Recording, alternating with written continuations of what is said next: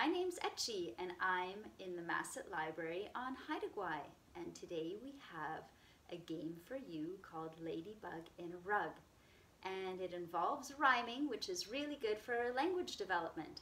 So uh, we've got all sorts of colors here. We've got purple, orange, blue, green, pink, and turquoise which is a really fun word to say, turquoise.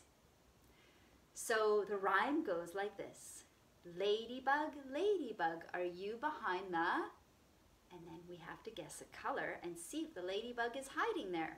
Okay? So let's start. Ladybug, ladybug, are you behind the purple rug? Let's see. One, two, three. no, what's that? That's a spider. That's not a ladybug. Okay, let's see if we can find the ladybug behind a different colored rug. Ladybug, ladybug, are you behind the orange rug? Let's see. One, two, three. What's that? That's a dragonfly. It's very colorful. It's orange and purple. Okay, let's try a different color. Ladybug, ladybug, are you behind the blue rug? Let's see. One, two, three. What's that? It's a bee. That's not a ladybug. And it's yellow, gray, and black. Okay, let's pick a different color. Ladybug, ladybug, are you behind the green rug? Let's see.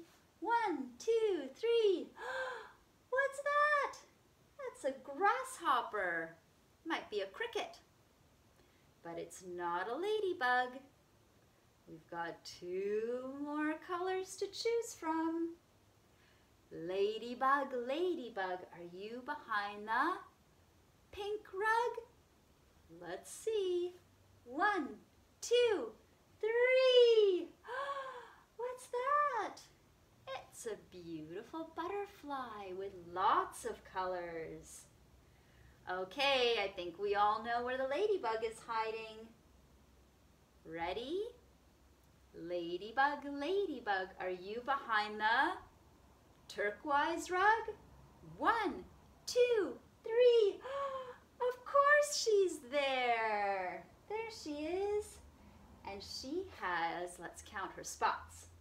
One, two, three, four, five, six.